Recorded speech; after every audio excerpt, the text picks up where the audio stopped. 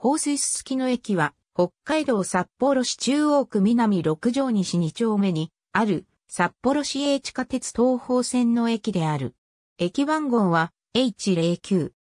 東方線開業時から1994年の東駅副縦間延伸開業までは南側の終点となっていたため、大通側に両渡り式点鉄機が置かれており、折り返し運転が行われていた。駅構内には東方線乗務区があり、当駅で乗務員の交代が行われる。放水すすきの駅から300メートルほど西側に、地下鉄南北線のすすきの駅と札幌市電のすすきの停留場がある。すすきの駅と放水すすきの駅は地下通路などで直接接続していないため、両駅を介した東方線と南北線の乗り換えはできない。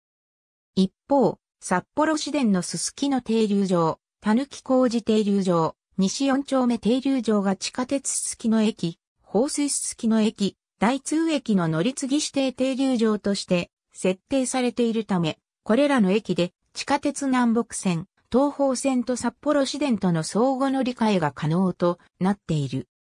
当初は、すすきの停留場のみが、すすきの駅、放水すすきの駅との乗り継ぎ指定停留場だったが、2015年12月20日の都心線開通に伴う市電のループ化により、現在の形に変更された。開業前は、新すすきのの仮駅名が付けられていたが、すすきの観光協会や飲食店関係者からは、新がつくと、今のすすきのに古臭いイメージがつくとしたため、市側は1987年2月末に、正式駅名を、放水として提示した。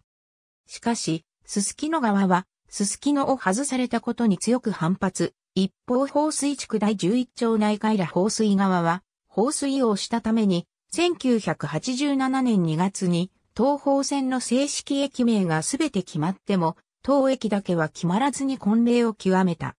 最終的には、両者が話し合い、駅名を、放水すすきのとして1987年4月に申請、同年6月19日までに決定した。当初、車内放送のアナウンスは、放水すすきのの、ほにアクセントをつけて発音していたが、地域住民の要望により、2009年より平板なアクセントの発音に変更された。地下1階に改札口、地下2階に一面2線の島式ホームがある。北側には両渡り式点鉄機が設置されている。出口は7カ所あり、地上へのエレベーターは6番出口にある。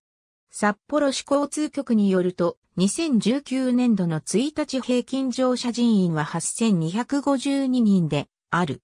近年の1日平均乗車人員の推移は以下の通りである。歓楽街、すすきのの一角を形成している一方、周辺にはマンションも多く立ち並び、住宅街の要素も合わせ持つ。近隣に寺院が多いのも特徴。